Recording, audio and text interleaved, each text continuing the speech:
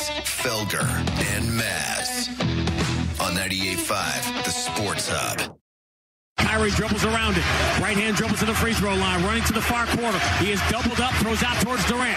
Durant hounded by Tatum. Durant, tough three, late in the shot clock. No good. Celtics had the rebound. Horford. Kyrie tried to do it by himself, but he got burned. Nine seconds to go. Jaylen turns the corner on Dragic. Eight seconds. Kick out. Left side. Smart up. Finds the cutter. Tatum spins,